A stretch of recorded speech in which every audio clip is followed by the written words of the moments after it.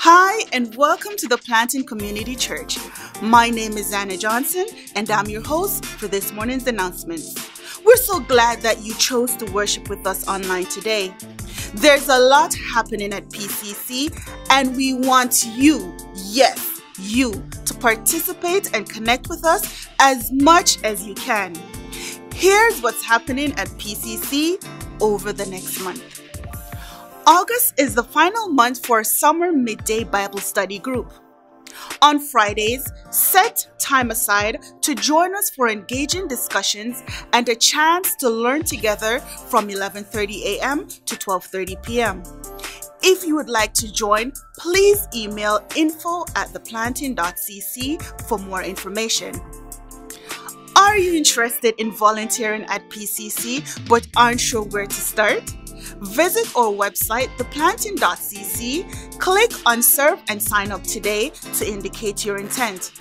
There are several ministries that currently needs volunteers, so we invite you to connect with us and bring your talents. Every Sunday at 11 a.m., join us on YouTube or Facebook to view our worship service with a message from our pastor Marcel James. You can also visit our website, theplanting.cc, to ensure that you stay connected with us. At PCC, we have programming for children too. PCC Kids is a space where children and their parents meet to learn about Jesus in a fun and engaging environment. Each week, our children's ministry team hosts PCC Kids meetings online from 1 to 2 p.m. Meeting information will be sent to parents each week. Our Wednesday night prayer meeting and Bible reflection sessions are a great way to learn with others. Challenge yourself to set aside an evening each week to grow deeper in the Word and connect to pray, especially with the needs around us. Meet us online each Wednesday night at 7 p.m. via Google Meet. If you have a prayer request, please leave a message at 416 653 2528 or email us at info at theplanting.cc. We encourage you to continue giving your tithes and offerings as the work of the Lord depends on your giving. Online giving can be done securely using Tithely or using e-transfer using the email info at theplanting.cc. If you would prefer to write a check instead, please mail it to our address at 236 Nairn Avenue, Toronto, Ontario, M6E4H4. Thanks again for choosing to worship with us online today. Consider following us on Facebook and subscribing to our YouTube channel by hitting the subscribe button below so that you continue to stay connected with us. Visit theplanting.cc for more information. May the peace of God rest with you this week and always stay safe.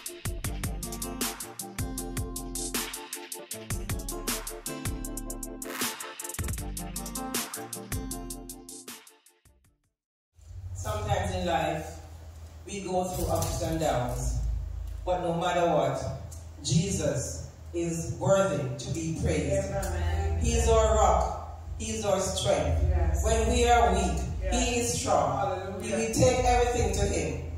And He will protect us. He'll guide us. Yes. He will walk us through. Yes. Because he is our light. He's our guide. Yes. And he is our only strength that we can hold on to. Amen. Jesus, Lamb of God. You Hallelujah. are worthy. Yes. You are worthy, worthy, worthy to be praised. Yes. Hallelujah. Hallelujah. Hallelujah.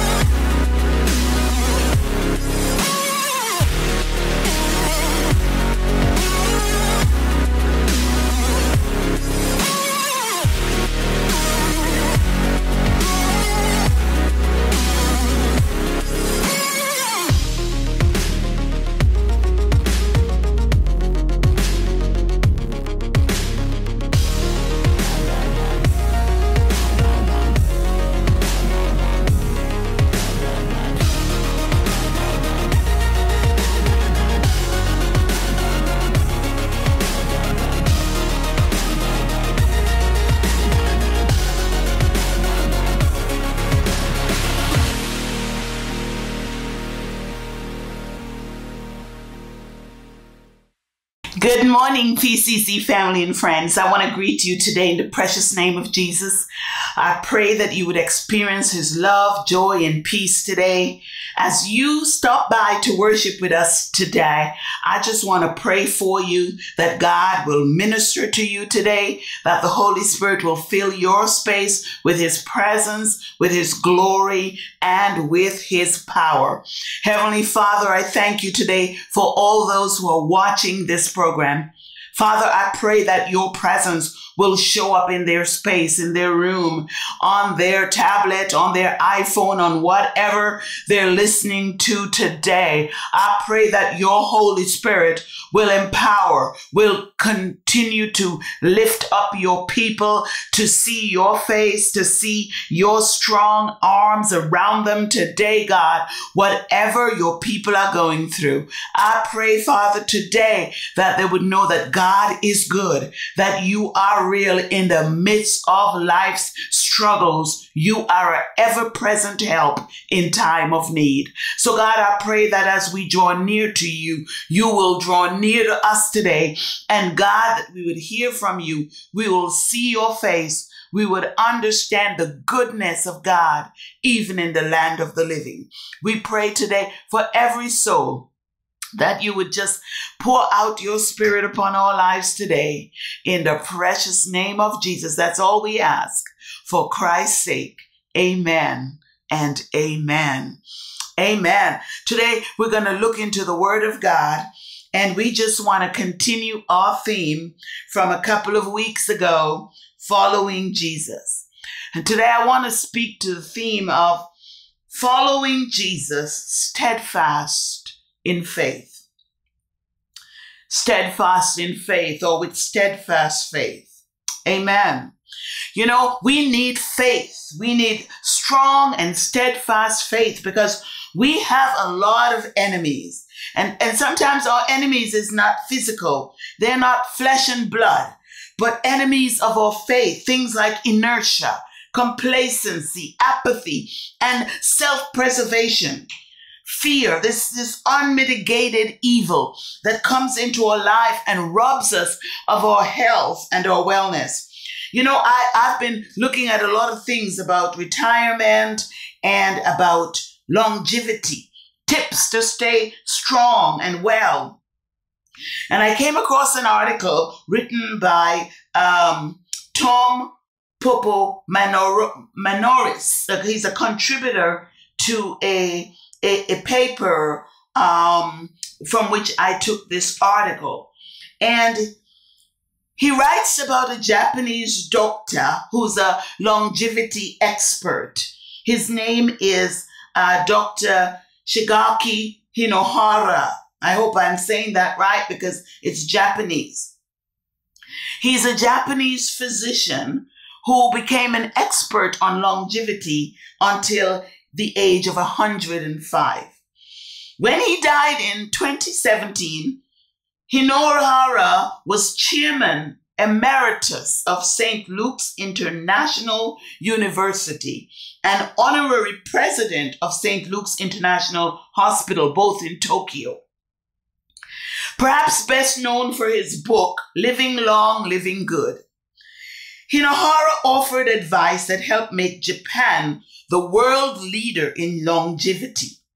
Some were fairly intuitive points, while others were less obvious. And I'm going to read those points to you, one to five. Number one, he rewrites, don't retire, but if you must, do it, do it a lot later than age 65.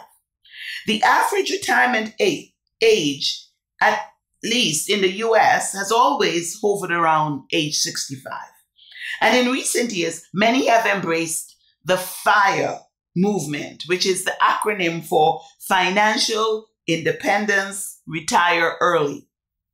But in horror, he viewed things differently. He says, There is no need to retire, but if one must, it should be a lot later than 65. He said in 2009 interview with the Japan Times, the current retirement age was set at 65 a half a century ago, when the average life expectancy in Japan was 68 years, and only 125 Japanese were over 100 years old. Today, he explained, people are living a lot longer. The life expectancy for, U- for the US in 2020, for example, is 78.93 years, a 0.08% increase from 2019. Therefore, we should be retiring much later in life too. Hinohara certainly practiced what he preached. Until a few months before his death, he continued to treat patients, kept an appointment book with space for five more years, and worked up to 18 hours a day. Secondly, he says, take the stairs and keep your weight in check. Hinohara emphasized the importance of regular exercise. He says, I take two steers at a time to get my muscles moving, he said. Additionally, Hinohara carried his own packages and luggage and gave 150 lectures a year, usually speaking 60 to 90 minutes, all standing, he said, to stay strong.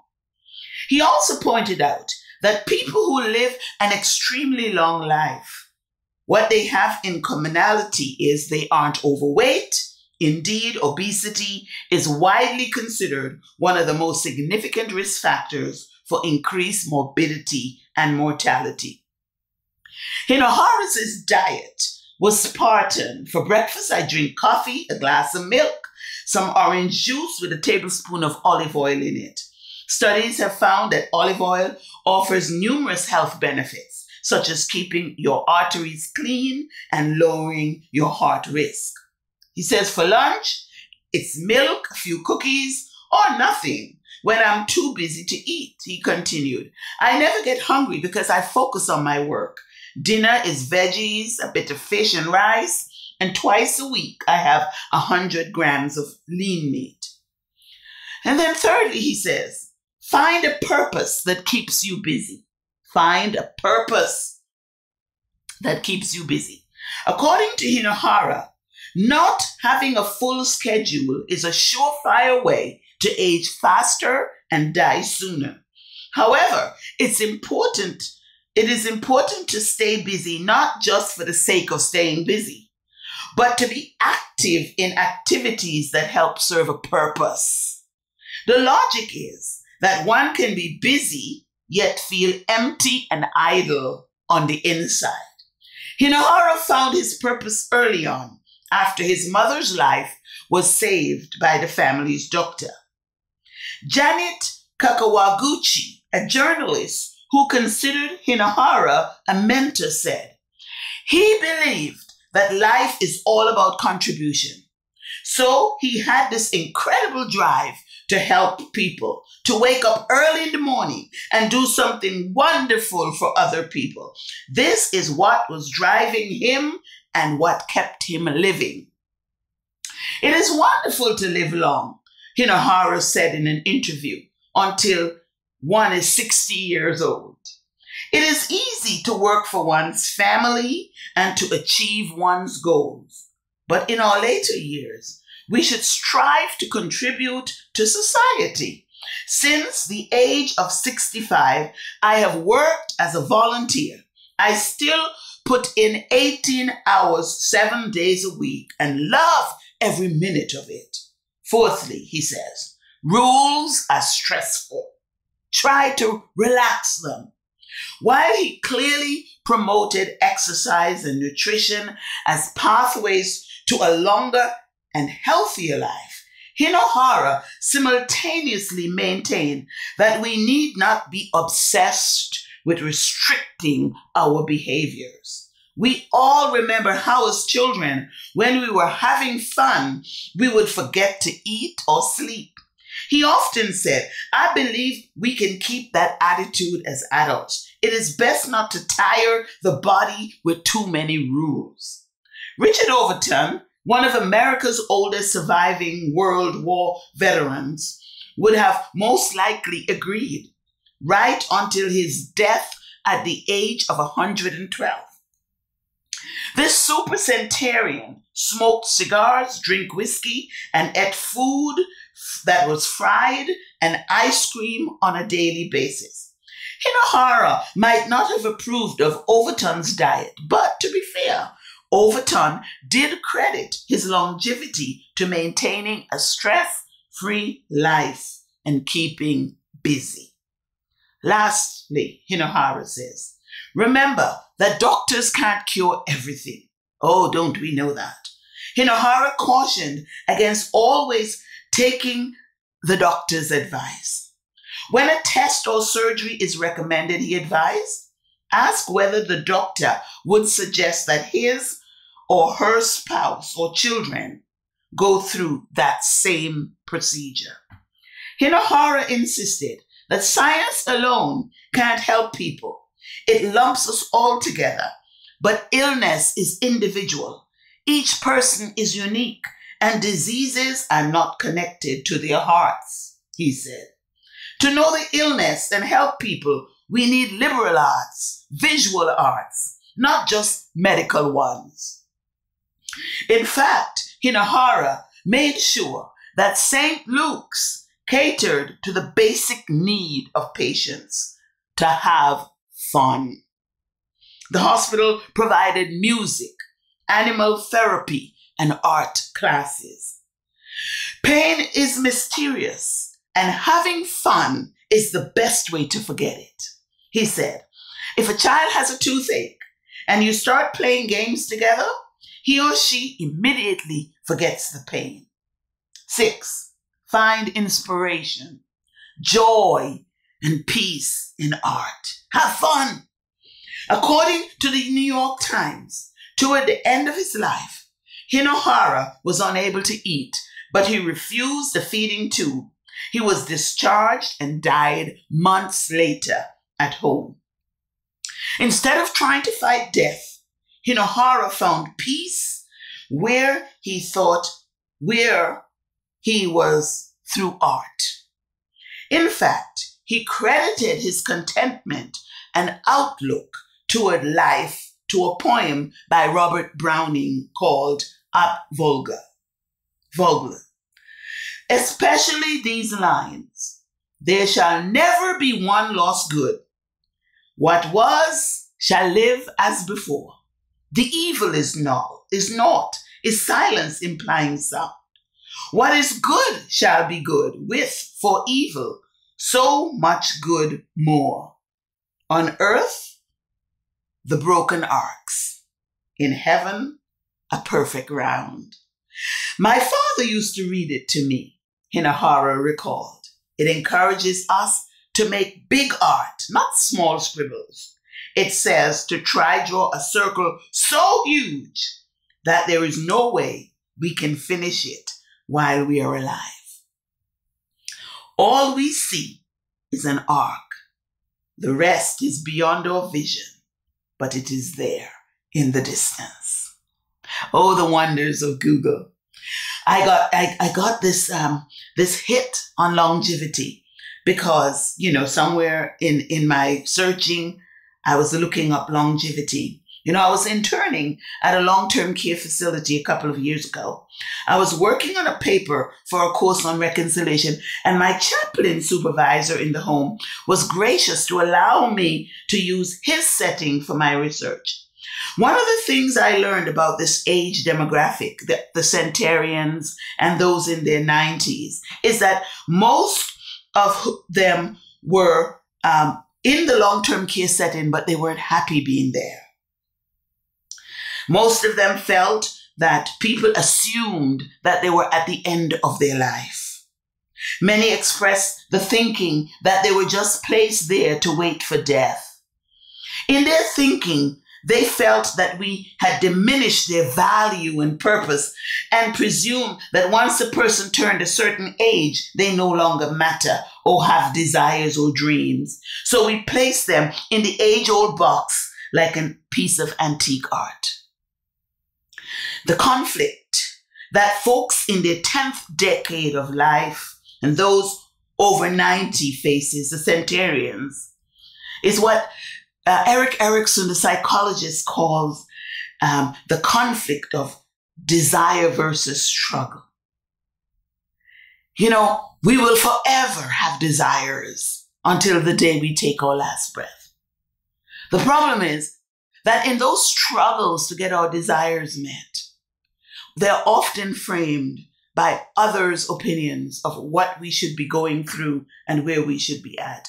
You know, Jesus in in in in his uh, ministry came across many people who had opinions of what they think he was about and what mattered. We're going to look at a text in Mark, Mark chapter 8 to draw um, a narrative out and see how opinions can lead to misinformation. I'm going to read from Mark 8, verse 31, and to the end of this chapter. Jesus um, began to teach them, his disciples, and his followers, that the Son of Man must suffer many things, and that he would be rejected by the Jewish elders, the leading priests, and the teachers of the law he told them that the Son of Man must be killed and then rise from the dead after three days. Jesus told them plainly what would happen. Then Peter took Jesus aside and began to tell him not to talk like that. But Jesus turned, looked at his followers. Then he told Peter not to talk like that. In fact, he said, Go away from me, Satan. You don't care about the things of God, but only about things people think are important.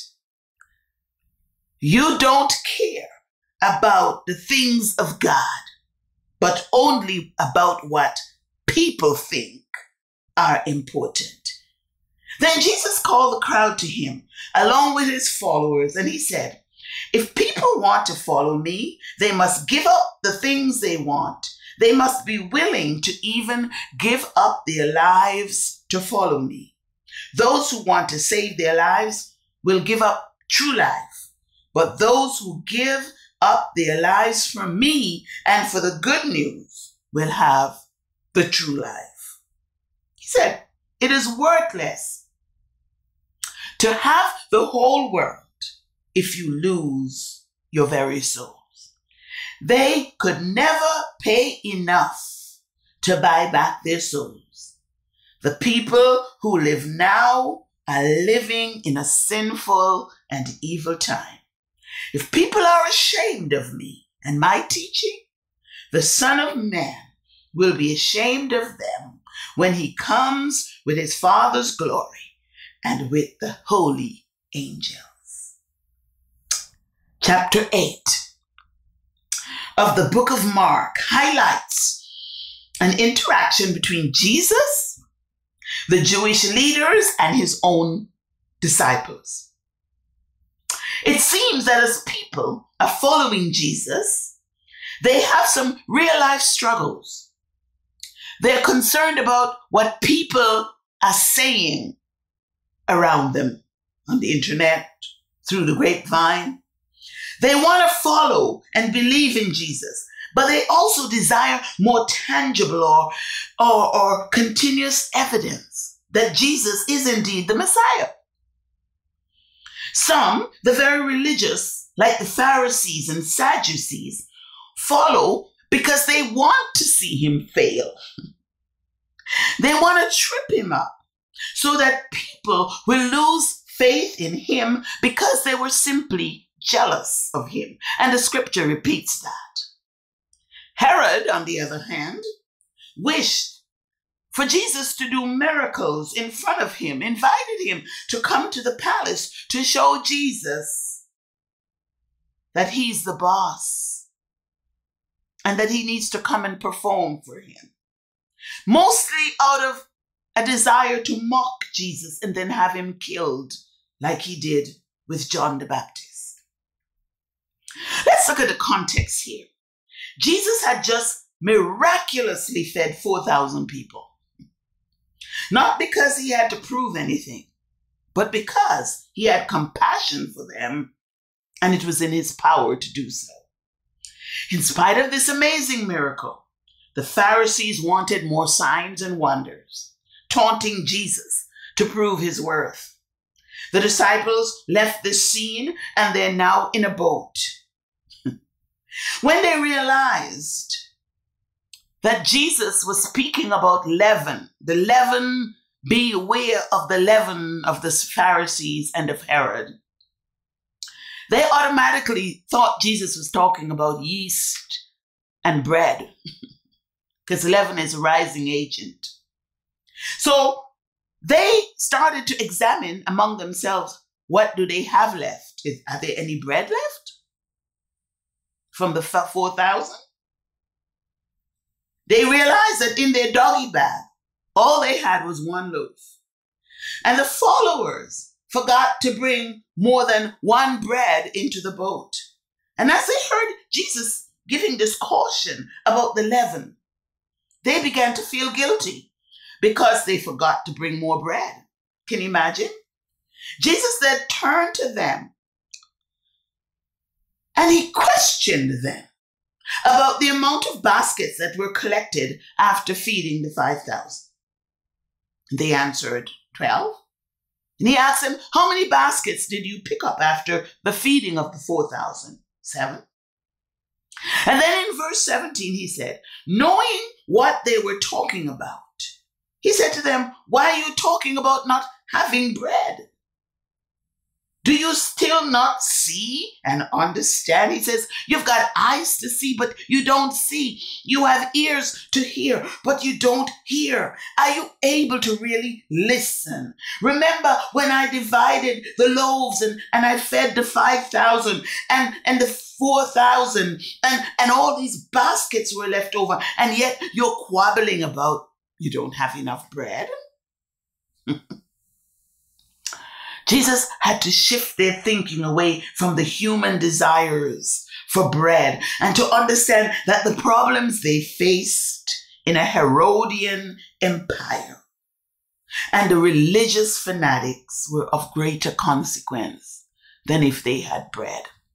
You see, when they gave Jesus this trick question, it was some of the religious leaders and some Herodians that came to test Jesus so they could go back to Herod, so they could go back to their synagogues, so that they could find a reason to disqualify and kill Jesus right there and then. Jesus knew he was going to die, but wasn't his time. Jesus wanted them to understand that those who are looking for miracles, who are trying to prove who he, who he was, like Herod and the Pharisees, had evil motives. So watch out for them. They are evil and they're deadly. Not everyone who's inquiring about Jesus have good motives, and we got to be careful about who's calling, about who's inquiring, because their motives are not always good. He said, Open your eyes, disciples. Don't get caught up in spiritual deception. You know, we're living in a time when we too need to heed Jesus' warning. We have a lot of Herods and modern day prophets who are claiming that Jesus was confirmed in this way or that, or telling us stuff. But we need to be careful of the leaven.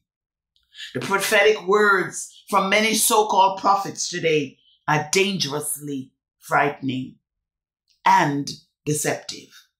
We can get to the place where we believe that following Jesus means all our earthly desires and wishes will be fulfilled.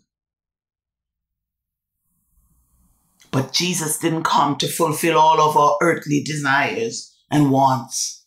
He came to shed his blood on Calvary to guarantee us a good life, both down here and in eternity. You know, Peter had the same problem. In our text, we see Peter pulling Jesus aside. You see, he had get, gotten into the habit of pulling people aside, questioning this and questioning that. That's how the devil can use us. And Jesus is telling them in the plain, sad truth, he was going to die. Jesus was not hiding anything. Why is Peter pulling him aside? Jesus is speaking openly to his followers.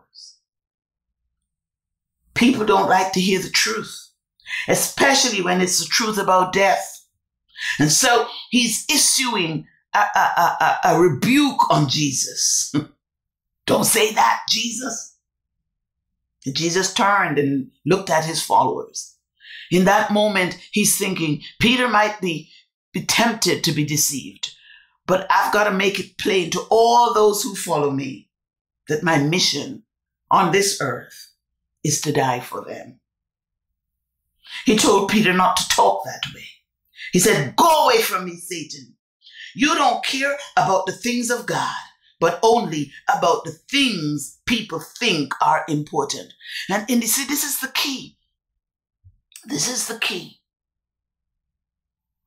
Let them focus on the word Peter, but not you. Their money can't buy their souls. Don't be ashamed of me and my teaching. Just follow me. If anyone is ashamed of me and my teaching, I will be ashamed of them when I return in all my Father's glory and with the holy angels. Watch out, Peter. Jesus is saying to the crowds following him, in this evil and doubtful generation, be focused on me. In the end, I will return and I want to declare you worthy of honor and not shame. You know, the Apostle Paul, in his message to the Roman church, made this declaration. He said in, in Romans 1 and 16, I am not ashamed of the good news because it's the power of God that he uses to save everyone who believes, to save the Jews first and then to save the non Jews. The problem with the fulfillment of desires without the struggle can lead to complacency, apathy, and disengagement. Jesus knew that those who would follow and come after him would need a kind of steadfast faith. Even if they don't see miracles, even if they don't see signs and wonders, they would believe because Jesus' mission was more important than what other people told them. It was more than manifesting his presence through miracles, but to understand that he's the Messiah sent from God to die for their sins. The mission involved the shameful cross and he wanted his followers to prepare that eventuality. Be prepared for that eventuality and not become defeated with the feelings of abandonment and shame that would soon follow. May we not become a generation, church, of believers who are only concerned about what is in it for me. May Jesus not have to remind us of how many baskets we have picked up after the miracles of bread. Because we just have one bread now? Don't be discouraged. The same God who allowed you to pick up the extras after the miracle is the same God who sees that you only have one bread now. You know, it's like some of us who go to a fancy dinner and there's a lot of food. But we get home and we're starving. Or the next day, we can't figure out what to pack for lunch. And then we say, oh my goodness, I should have taken a container with me.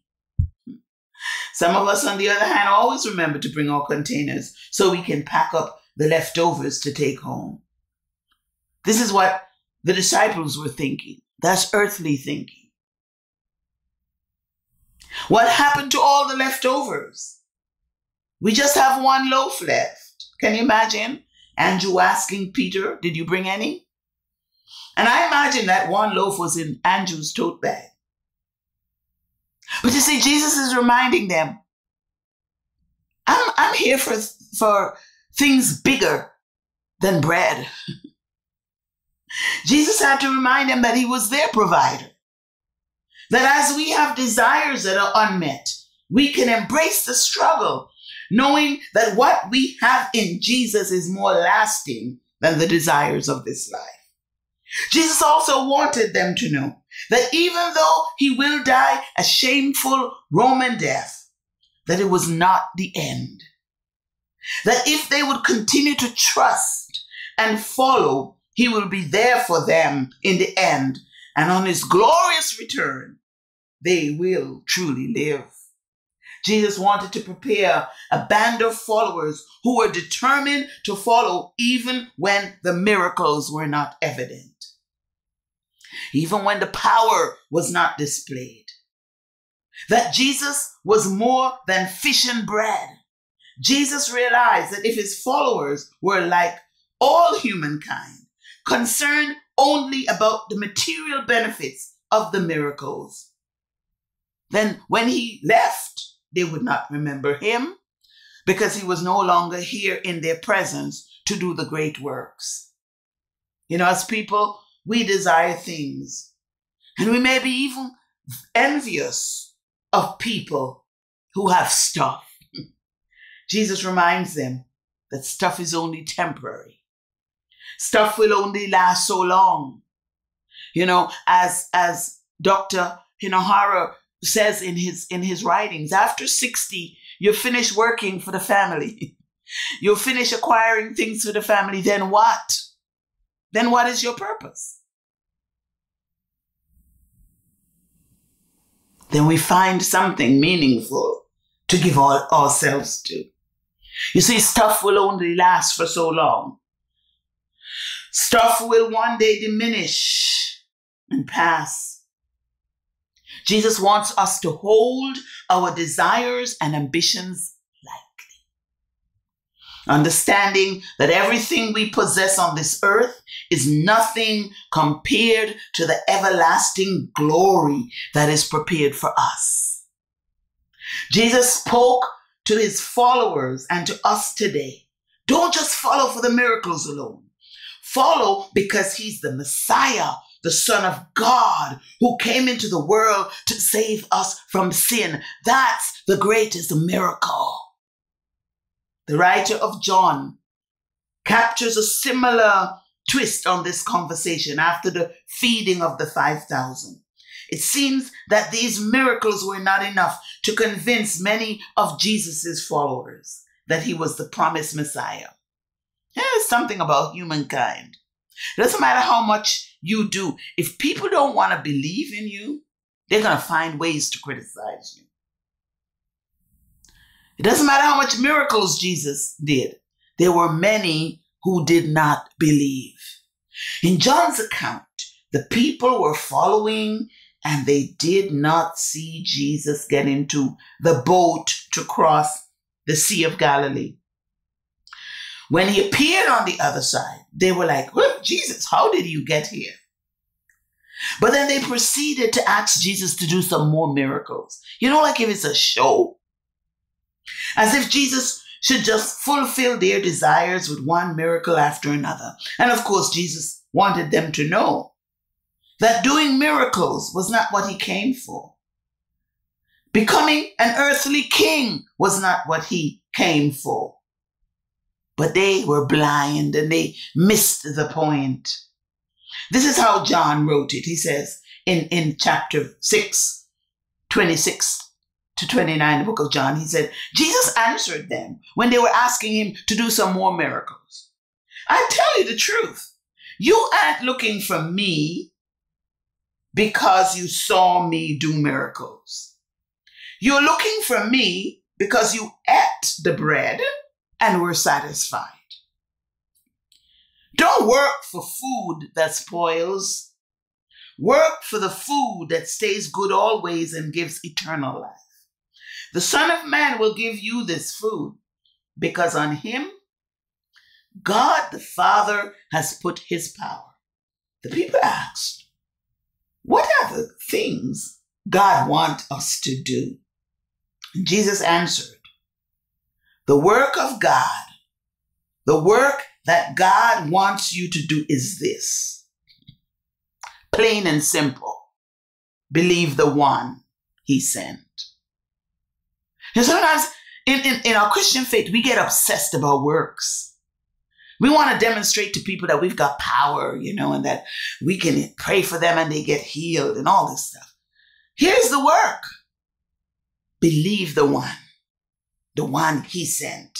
The clear message for the early followers of Jesus and for us today is that we should not live just to fill the desires of the flesh. We should not just live because we want to do what other people say we should do or to be. Our desires of the flesh can be fulfilled. Jesus does care about physical needs. Yes. He's shown that throughout his ministry. And food is important, yes. He even cursed the fig tree for not providing food to feed his disciples. And once when they were out fishing on the Sea of Galilee, when they got out of the boat, Jesus was on the shore. They weren't quite too sure, sure who it was because Jesus had already died and resurrected. And lo and behold, as they approached him, they realized it was Jesus. And he wasn't just appearing, he was looking out for them. He actually had fish and bread waiting for them on the fire. So Jesus cares about our material needs. He cares about things like clothing and shelter. He advised his followers not to worry about those things because the Heavenly Father will provide those things. He advised his first disciples to follow him. And he said to them, I don't have a fixed address. But he understood the hospitality of his people. He even encouraged them to open their doors to each other, to share their tunics with each other. So, yes, Jesus does care about our physical needs. But most importantly, the primary reason that he came, that he was sent, is so that we can believe in him. You know, not that we should stop praying and believing for miracles. But Jesus wants us to know that that's not the primary reason. One, we need to know that we have to follow him and must be willing to give up everything, even our very life. Secondly, if you're about saving your life, he says, you will lose it. You will forfeit the true life. It's not about saving yourself. You will forfeit the true life. But if you give up your life, yourself, for the true life, guess what? You will get it. You will get it. And so Jesus encouraged them in his message to focus on the good news of his coming. You know, a lot, a lot of people don't attend prayer meetings or prayer services anymore because they're disappointed in God. You know, sometimes we don't know we're disappointing God, but we see the exercise as futile. They feel that praying is a waste of time because they have conflict with their desire and their struggle. They think it's who they pray with that matters. But here's the thing it's not who you pray with that matters, it's to whom you pray that matters. And Jesus says, Come together, show up, encourage one another. Jesus is expected to perform miracles for us every time we pray. And I, I would like to believe that Jesus does answer every prayer that we offer to him. Sometimes the answer is not what we want or expect.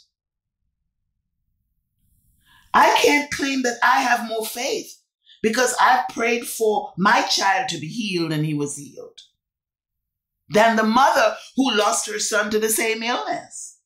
As Dr. Hinohara says, no one illness is the same. None of us have a monopoly on faith.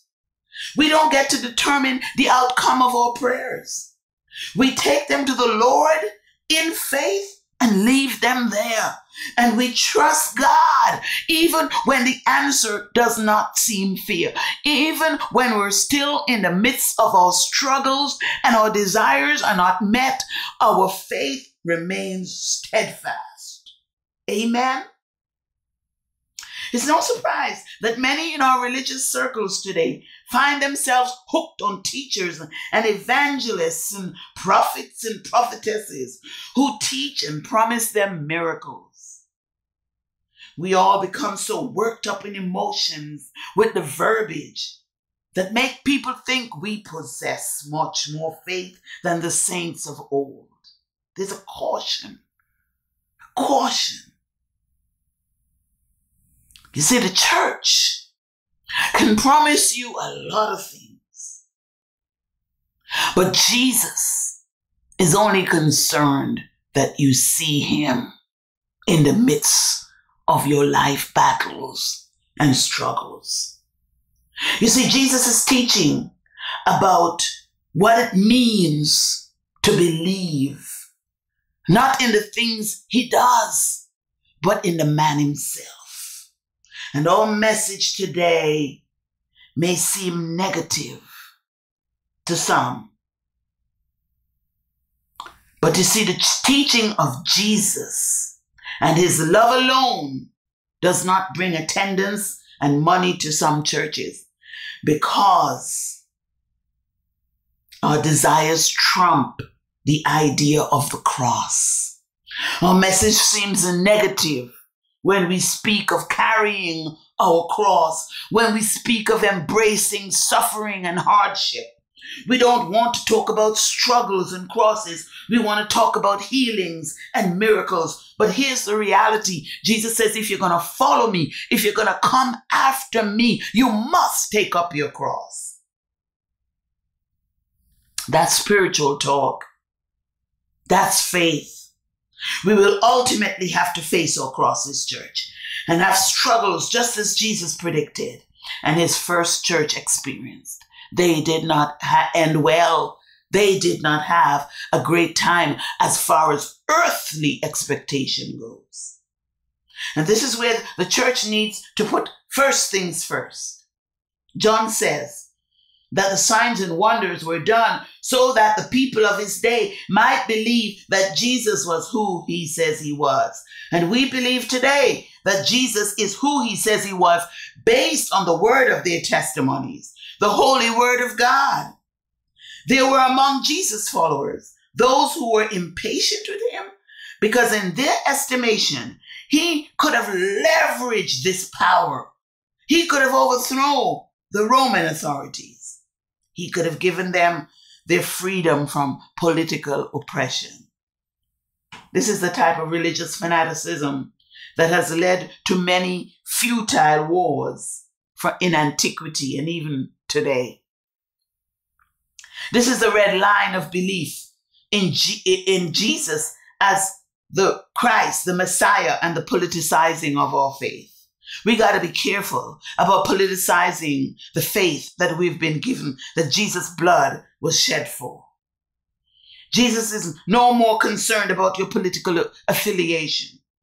He's most concerned about your faith in Him as the refuge for your soul.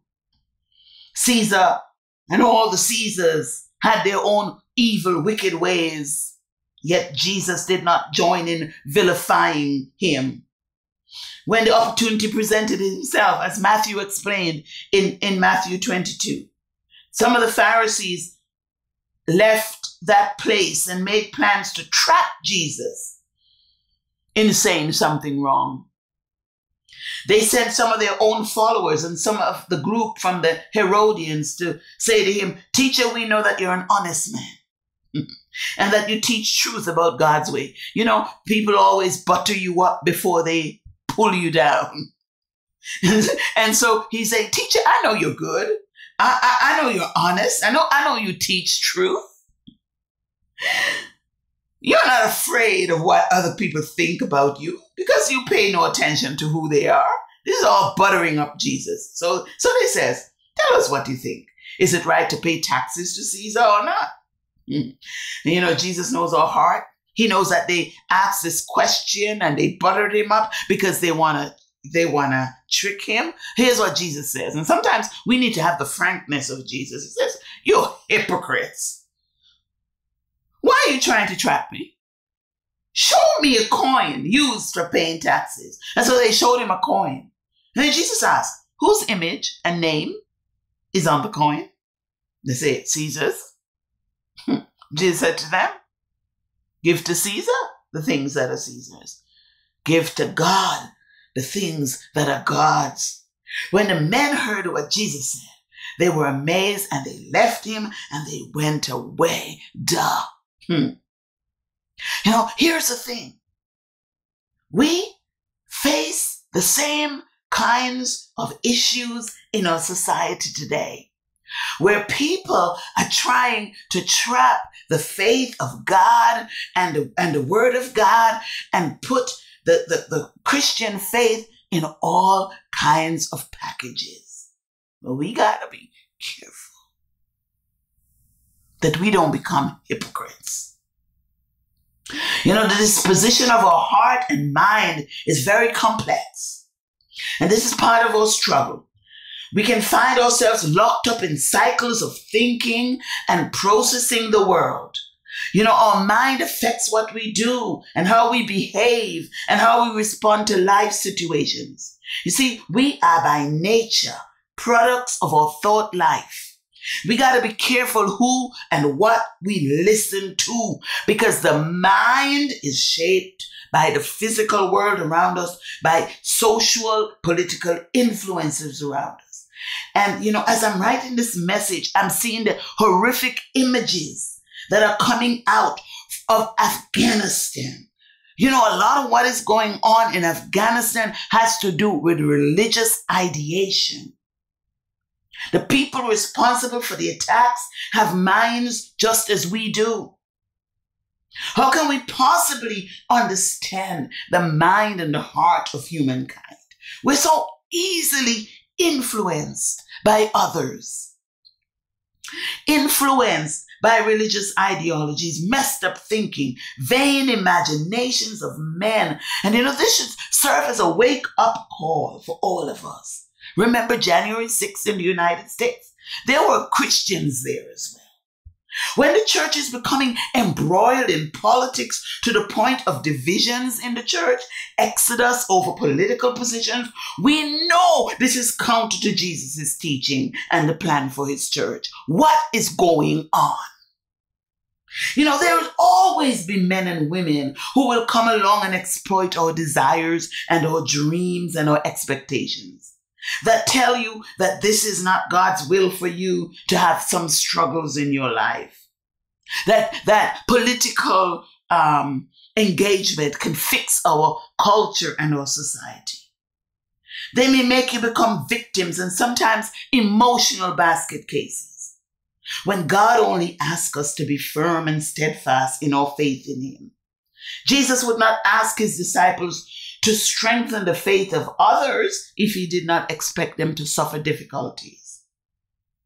He expects that we will have hardship. Anyone can believe that life is good and everything they desire in life would be fulfilled. Can a man or woman still desire God when the chips are down? To push through the darkness of the soul and touch the light? How about that? How about the mind and disposition of the ancient Job, who declared in Job 13 and 15, God may kill me, but I still will trust him and offer my defense. You know, there's a motive of even those all through the word of God, even though, even though. You know, I may need to speak a message on that sometime, even though, you know, there are even those in your life, but keep moving, keep trusting God. You know, the Bible talks about people who are steadfast in their faith. They will learn that they were punished because they hated my laws and refused to obey my rules. But even though this is true, I will not turn away from them when they are in the land of their enemies. That's God saying, even though his people disobey him, even though they stray away from him, he will not forsake them. Job 33 reminds us that God is in the even those of life. God speak sometimes one way and sometimes another, even though people do not understand it, Job says. Ezra says to the people, even though they were afraid of the people living around them, they built an altar where it had been before, and they offered burnt offerings on it to the Lord morning and evening. You know, Daniel was told that he shouldn't pray three times a day. And even though he was told that, that, that, he would die as a consequence, his faith was steadfast. And there's Queen Esther. Go tell the Jewish people, she said in Susa. For my sake, fast. Do not eat or drink for three days, night and day. I and my servant girls will also fast. Then I will go to the king, even though it is against the law. And if I die, I die. Amen. You know, David, the psalmist, allowed his desire and struggle with aging to be a fact, but with steadfast faith to make a difference in his old age. Listen, it's a fact that we're going to get old, but make a difference even though. he said, even though I am old and gray, do not leave me, O God. I will tell the children about your power. I will tell those who live after me about your might. David is saying, even though I'm old and gray, I'm going to preach, I'm going to proclaim. You know, it's time for us, church, to be sure of our faith and who it is that we're following. In this individualistic Western mindset that we have, most of us by nature are rebellious and resistant to authority. In the West, we're the most autonomous and self opinionated people on the planet. We're not good at following God or man. We love our own way. Isaiah confess that we are like sheep constantly going astray because we love our own way. You know, in this past few years, we've witnessed so much rebellion and exercise of rights on every level of society, protests in the workplace, protests for, against the government, protests in the church. Some major big changes and shifts have occurred in some churches where there have been exodus of people just leaving the church. And most of it, some of the people don't even know why they're leaving and what's going on. Hmm? Defiance, political persuasions, and oh, that we be careful of the leavens of the Pharisees and the Herods of our age. As followers of Christ, it would be appropriate to step back and ask ourselves, who are we following? Is this a movement we're following, or is it part of our faith journey? How can we be sure that we're following Jesus Christ? Especially when it seems counterintuitive and does not jive with scripture. The word follow is another motive found throughout the Bible. The command to follow is repeated through the Old and New Testaments. From the be- very beginning, God gave instructions to our first parents that were meant to be followed. The Lord put the man in the Garden of Eden to take care of it and to work it. And the Lord commanded him, You may eat the fruit from any tree in the garden, but you must not eat the fruit from the tree which gives the knowledge of good and evil. If you ever eat that fruit from that tree, you will die. And you know the rest of the story. They failed to follow that command because they did not trust the one who created them and gave them all that they had. You know, we have, but our eyes always see, our ears always hear what is not for us. You see, our problems started a long time ago. This same God throughout history and human of humankind have constantly been asking us to follow him, to walk by faith in him, to walk in humility and in obedience to him. And that is called trust. Trust and obey. For there's no other way to be happy in Jesus but to trust and obey. And as we look at this idea of following, we see some great personalities in the Word of God. People who followed the plan, the message, and the purpose. And they did it with steadfast faith to the degree that they triumphed in the end. Oh, yes, we still live in the arc, but until we get to glory, we will not see the full circle. Today, as we close this series on following Jesus, let's look at lives of those who stepped out in faith and followed the footsteps of Jesus.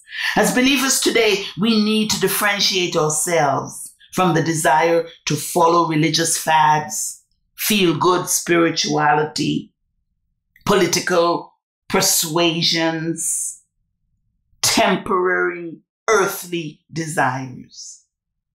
Jesus made it clear to his disciples that his kingdom was not of this earth. Jesus came to bring a gift that would outlast time and eternity. Even if you live to be a hundred, God would never be finished with you yet. His love knows no limit. His grace knows no measure.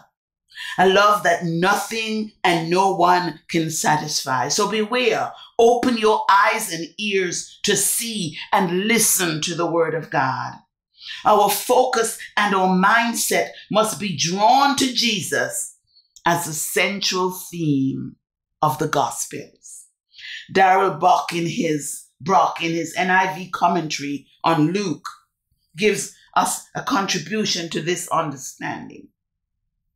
He says Luke is trying to help us to see Jesus' mission this way. He says, What does Jesus do? Luke explains how he revealed that the way to God is through a sinner's recognition that one must turn to God for help. The author also makes clear that the way to God is through Jesus. To show his power, Jesus preached the kingdom of God and the time of fulfillment.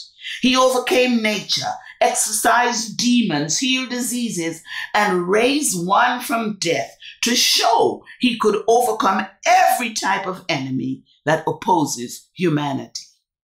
All the while, he prepared his disciples for the journey of salvation by showing them that glory was reached only after suffering. What does Jesus want people to do? He calls sinners to repent, disciples to take up their crosses daily as they follow him, and witnesses to take the message of repentance for forgiveness of sins to all the nations. He promised the Spirit for the task. Since many will reject their message, still they are called to love their enemies and pray for them. As followers of Jesus, unquote, we must be prepared to grow through suffering and struggles. We cannot be changed or renewed without knowing the mind of Christ, and we cannot follow Jesus without steadfast faith. It's a logical. It's a domino effect. It, it is conscious engagement with God's word that changes our very nature. And it's also maintained by our engagement with that word. It means making the time to apply oneself to the daily engagement and practice and the teaching of the Bible. It means showing up for prayer and Bible engagement, even when your specific prayers are not answered in the way you wish for God to answer your prayers. That's called steadfast faith.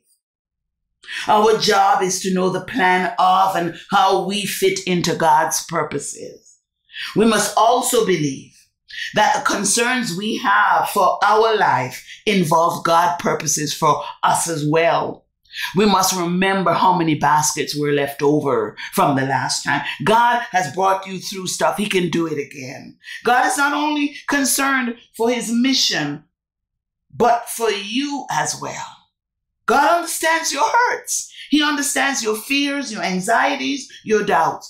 Jesus came to this earth to participate in the human aspects of our lives so that we can relate to Him with that understanding that He knows. This God became flesh and dwelt among men. Jesus has been identified as a high priest who's touched with the feelings of our infirmities. Remember how many baskets were left over. In Hebrews, Paul wrote, For this reason, Jesus had to be made like his brothers and sisters in every way, so he could be their merciful and faithful high priest in the service of God. Then Jesus could die in their place and take away their sins. That's why he came. And so we need to develop a steadfastness if we're going to follow Jesus. We must walk in steadfast faith. And to develop the steadfast faith to move forward, we must resist what people are saying. Like Jesus rebuked Peter. You only care about what others are saying. Follow me. Follow me. Resist the darkness of this present age and the culture of opposition to the mission of God. The call to follow Jesus goes beyond what we believe and sing about.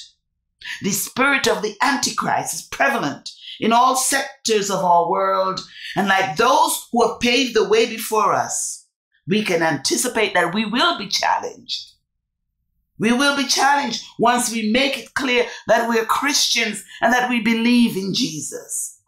We will also be distracted by those who fall away and become casualties to the struggles and difficulties of life. Some will fall away and they will convince you that you're on the wrong path. Sometimes you might feel disconnected to God and the people of faith. At times you, you may feel like you're the only one experiencing anxieties and fears and loneliness and abandonment. But Jesus is in the struggle with you. Following Jesus comes at a cost, but not without benefits. As we remain disciplined, as we remain steadfast, focus on His word, we can stand in the midst of it. Many of us have gone to school or have learned a trade or a discipline. We know that it is a struggle. But as you hear your name being called by the person handing out your graduation certificate, all you can feel is a relief, pride, joy, satisfaction in your accomplishments. All you feel is gratitude for the reward of years of sacrifice. Some graduation ceremonies Parents wipe away tears. Some celebrate with parties and have bragging rights that they should enjoy. Just imagine what will happen when we get to the end of life's struggles. When, when the arc is completed. when you hear the voice like many waters saying, Well done, thou good and faithful servant. One songwriter says, Oh, that will be glory for me. Glory for me. Glory for me when by his grace I shall look on his face. That will be glory. Be glory for me. But in the meantime, we walk by faith, not by sight. Life lived in integrity has its rewards. You know, in a missional uh, book written by Dr. Barry L. Callen, The Call to Holiness, it talks about having that incarnational integrity, that living out the purposes of God, that principle that shapes our theological thinking in the Church of God is called incarnational integrity. The concern has been to realize that in the present call of Jesus Christ, for disciples to be authentic representatives of the coming reign of God that already has arrived in Jesus. This concern is in the focus on sanctification and amillennial stance of the movement of the Church of God. Holiness for the individual means a genuine set apartness so that one's very life becomes a living sacrifice. Spirit, spirit directed presence of the kingdom of God, an alternative to the patterns and powers of the world. He said in both cases, it means congruence of divine intent and actual occurrence in the world by the power of the Spirit. This is the radical and responsible dimension of having received divine grace. There is integrity in Christian belief only when it is accepted by faith and its implications are actually lived out in one's life. Unquote. We receive Christ by faith, but we live in integrity when we live out that faith. This proclamation and this practice requires steadfastness. Even if we live past a hundred, it is a faith that sees beyond our lifespan and in the lives and in the investments we make in the lives of others. I know this is a deep message today, but I want to remind us that everything on earth is just an arc. In heaven, it's a perfect circle. The only thing that would last is our steadfast faith in Jesus and his work through us to proclaim the good news. We will have struggles in the drama of life.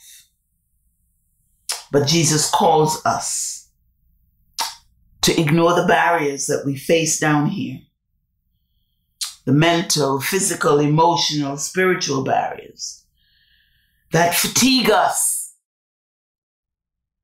and push ahead in steadfast faith. Hmm. You know, in our culture, we tend to think that people who have money, good jobs, education, house, and a spouse with children are fulfilled and happy. When we hear of divorce and illness and loss, we, we, we, we make statements like, oh, they have wealth, they have, they're famous, they, they have, well, how could this happen to them? But this is the problem. We've bought into the narrative that all things on earth are what makes us happy. But it's worthy to note that what is important in life are not necessarily what we can put our hands on on this planet. Jesus wants us, most of all, to believe in Him. When we become discouraged and feel useless because people say and think what they want about us, don't let others put you in a box and make you feel you're washed up and that God is finished with you. As long as God lends you breath, church, be on mission and follow Him. Think about people putting you into preconceived boxes. I'm reminded of an illustration I read in Donald Capps's Decades of Life, a guide to human development. He writes this. He says, This old guy goes to their doctor for a checkup. the doctor says, You're in good shape for a 60 year old. Guy says, Who says I'm 60 years old? The doctor says, You're not 60? How old are you? The guy says, I turn 80 next month. the doctor says, Gosh, 80? Do you mind if I ask you at what age your father died? The guy says, Who says my father's dead? The doctor says, He's not dead? No. He'll be 104 this year. The doctor says, With such a good family history, your grandfather must have been pretty old when he died. The guy says, Who says my grandfather is dead? The doctor says, He's not dead. The guy says, Nope. He'll be 129 this year and he's getting married next week. The doctor says, Amazing. But why at his age would he want to get married? The guy says, Who says he wants to? You know, people can put us in boxes, tell us what we should be doing and when. Jesus is saying to you today, that's not all you are. You're not defined by what others do or who people think you should be. Your steadfast faith in Jesus is more than your ability, your ability to do great exploits down here. What we do for God, that will be perfected in heaven. It's just the arc. Stay hooked on Jesus, even if you can't see your way out of this emotional fog you are in. Stay focused on your faith. Even if that cancer is not getting better, stay steadfast on your faith, even if that relationship is over. Stay steadfast in your faith, even if you have to surrender mother, father, sister, brother, child, friend to follow Jesus. Stay steadfast in your faith and immovable as the Apostle Paul administered the church in Corinth. He says, My dear brothers and sisters, stand strong. Do not let anything move you. Always give yourselves fully to the work of the Lord because you know that the work in the Lord is never wasted. Jesus' disciples were no different than we are today. And as Jesus called them to follow him, they may have questioned his teaching and direction. They did not always get what Jesus is saying and what his mission was, but they remained steadfast in their faith. And that faith has shaped the church down through the annals of time. It is to these doubtful, struggling disciples we owe our faith today. It is their stories that are captured in the annals of the pages of the Bible that gives us direction and hope as we follow Jesus in this century. As followers of Jesus, we may not always see and hear what Jesus taught them while he was among them. But in the end, they followed in faith. They took up their crosses. They fulfilled Jesus' desires for them. Heaven will be worth it all. In closing, I want to share a song by Charles W. Naylor, at least the lyrics of it. A man who was familiar with struggles that did not get healed but his faith was steadfast.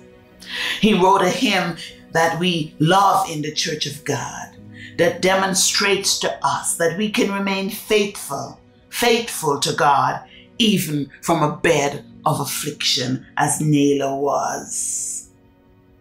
He says, Spirit Holy, in me dwelling, ever work as thou shalt choose. All my ransom powers and talents for thy purpose thou shalt use. Spirit holy, Spirit holy, all my being now possess. Lead me, rule me, work within me through my life.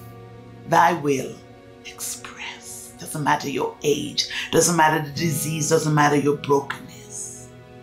He says, Oh, how sweet is thy abiding.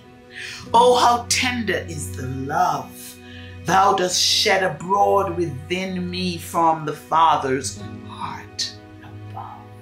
No bitterness, just love. He says, Thou hast cleansed me for thy temple, garnished with thy graces rare. All my soul thou art enriching by thy fullness dwelling there. Verse 4 says, In me now reveal thy glory. Let thy might be ever shown. Keep me from the world's defilement, sacred for thyself. Alone, Spirit Holy, Spirit Holy, in me dwelling, ever work as thou shalt choose. Oh, what a song to write in the conflict of desire versus struggle. Oh, what a place of peace and contentment that can be found in steadfast faith, even when our bodies are broken. I pray today that you will begin to live, really live in the face of your struggles, and that the peace and the joy that money cannot buy will be your portion today. As you get up each day, may you move in steadfast faith in Jesus. No matter what happens, knowing that He will care for you. Remember how many baskets of leftovers you collected. And be aware of the leaven of the hypocrites. The Lord bless you and keep you. The Lord make his face shine on you and be gracious to you. The Lord turn his face towards you and give you peace. Amen. Thank you for your time. Thank you for listening. I hope you will join us again next week. Actually, next month we will be celebrating 41 years of ministry at the Planting Community Church. And we have a great program planned for the whole month. Exciting presentations. And we hope you will celebrate with us and join us. God bless you. Amen.